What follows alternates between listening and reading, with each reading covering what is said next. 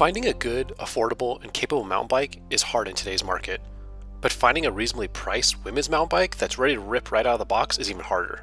That's all changed with the Vitus Mythique VRW. The Mythique was introduced back in 2019 as an affordable trail bike that had modern geometry, a great build, and was ready to shred without having to upgrade anything. The women's model, the VRW, which we're reviewing today was introduced back in 2021. Let's deep dive into it. The frame is made from aluminum alloy and uses a Horst 4-bar suspension design. The frame tubing has a beautiful shape and the only color available is pearl gray. It's also offered in sizes small, medium, and large. The Mythique has a conservative 66.5 degree head angle, 435mm chainstays, and a wheelbase which puts it right in the middle of the trail bike category. 29 inch wheels are only offered in the men's, not the women's, so 27.5 is your only option. The bike comes with the X-Fusion RC32 Boost Air Fork with 130mm of travel, 32mm stanchions, and 46mm offset, fork lockout, and rebound adjustment.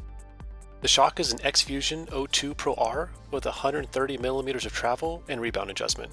Unfortunately, there's no lockout. Bike shown has the Nukeproof Urchin bars, but the stock bars if you order it is the Nukeproof Neutron V2 risers, which are 760mm width for all sizes.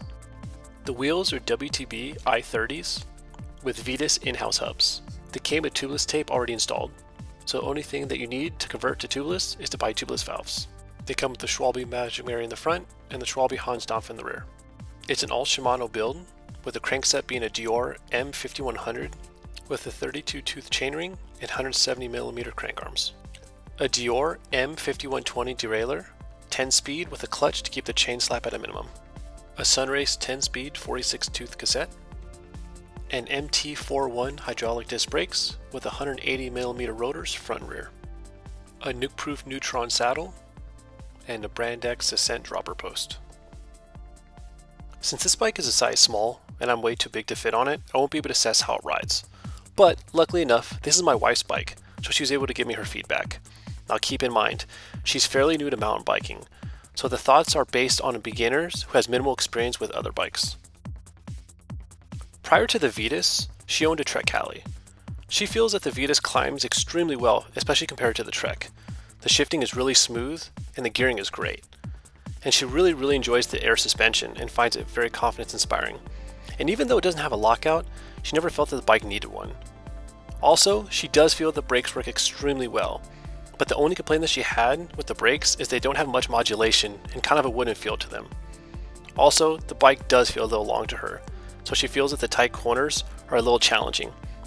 But in contrast, the bike does go over rocks and obstacles really easy and is very confidence inspiring. Even though my wife loves this bike, she did note that the dropper post didn't go all the way into the frame. This is due to the linkage going through the seat tube, which hinders how much the dropper can be inserted. This isn't a deal breaker, but it is kind of annoying. What you see here is a cost versus value analysis that I created. It's a breakdown of all the parts of the bike so you can determine how much it would cost to build this bike from scratch and determine a value based on the sum of its parts. So the Mythique VRX at the time of recording retails for $1,800 US. The total cost of all the parts on this bike if you were to purchase separately is over 2,500. So to keep it simple, that means that you save $700 from buying the bike whole as opposed to buying all the parts individually and building yourself. Please keep in mind that this is only an estimate. Prices can vary based on cost at the time of purchase and availability. Here's a comparison of the Mythique VRW with the Mythique VR, which is the men's version with the same build kit. So the frames and geometry are identical, but the men's gets available 29 inch wheels in all sizes, a size extra large, wider handlebars on the size large and extra large, and has a 30 tooth chainring instead of the 32 on the women's.